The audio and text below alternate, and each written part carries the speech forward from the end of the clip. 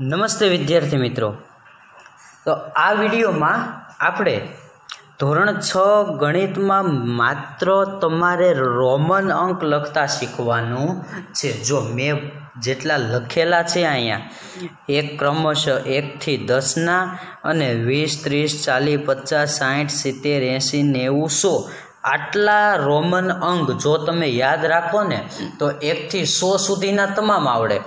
આ ઉપરાંત આ બાજુ એની શોર્ટકટ રેટ લખી છે હજાર સુધીની. આ આ પાકું કરી લો ને, એટલે એક હજાર સુધીના રોમન લખતા આવડે.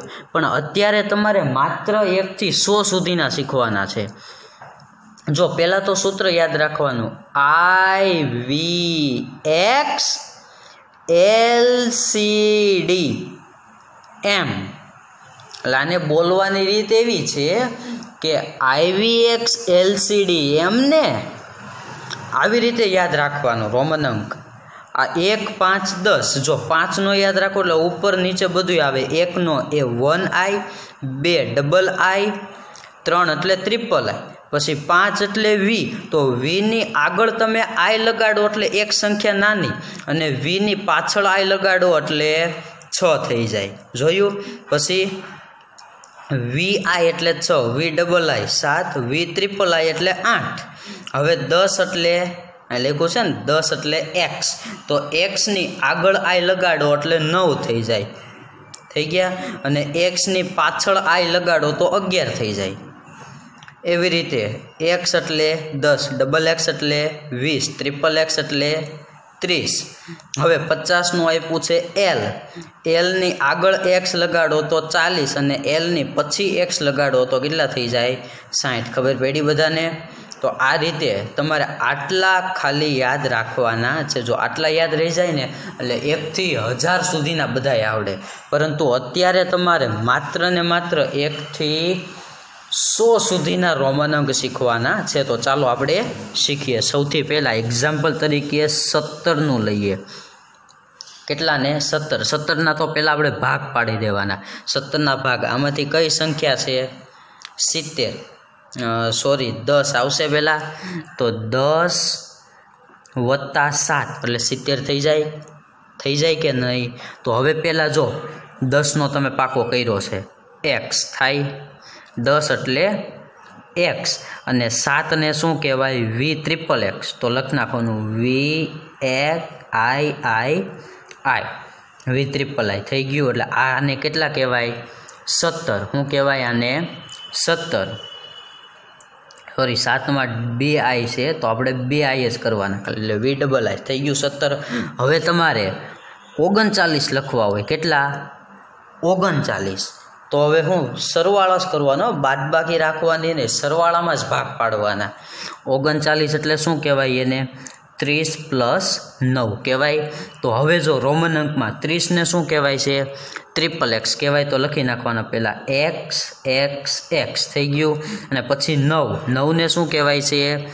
I X. તો અહીંયા લખવાનું પછી આઈ એક્સ. તો આ થઈ ગયો ઓગણચાલીસનો રોમન અંક.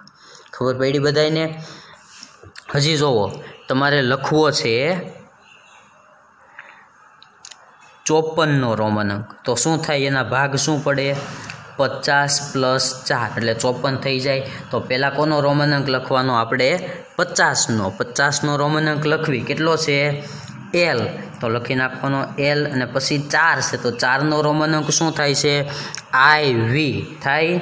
તો લખી નાખવાના આઈ વી. ઓકે? ખબર પડી બધાને?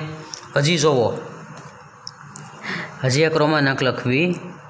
અઠ્યોતેર. કેટલા છે? અઠ્યોતેર. અઠ્યોતેર કેમ લખાય? એના ભાગ શું પડે?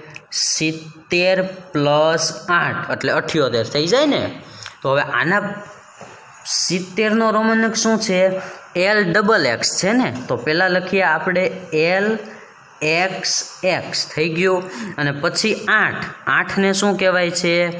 વી ત્રિપલ આઈ તો પાછળ લખ આપણે વી ત્રિપલ આઈ જો, બહુ મોટો થાય તો બીવાનું નહીં. આ એનો જ છે. અઠ્યોતેરનો જ રોમન અંક છે.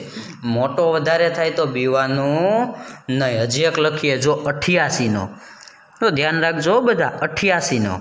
તો અઠ્યાસીના ભાગ શું પડે? એંસી પ્લસ આઠ. તો એંસીનો રોમનક શું છે? એલ ત્રિપલ એક્સ તો પહેલાં શું લખવાનું? એલ ત્રિપલ એક્સ લખાઈ ગયા એલ ત્રિપલ એક્સ અને પછી આઠનો રોમનક શું છે? વી ત્રિપલ આઈ તો પાછળ લખ નાખવાનું વી પછી ત્રિપલ આઈ ખબર પડી બધાને? તો આવી રીતે રોમન અંક આવશે. તો હવે બધા મિત્રોએ તમારે સ્વાધ્યાય પૂરું થયું ને? છેલ્લે ત્રીજું સ્વાધ્યાય. એક પોઈન્ટ ત્રણ, એ પૂરું થાય. એની પછી સો રોમન અંક લખવાના છે. કેટલા? એકથી સો સુધીના તમામ રોમન અંક લખવાના છે. ઓકે. તો આજે આપણે અહીં સુધી રાખીએ અને ચેપ્ટર નંબર એક. અહીંયા આપણે ઓકે કરીએ. ઓકે? તો ફરી મળશું ચેપ્ટર બે સાથે. ત્યાં સુધીમાં દરેક મિત્રો ચેપ્ટર એક સંપૂર્ણ રીતે રિવિઝન કરી લેજો.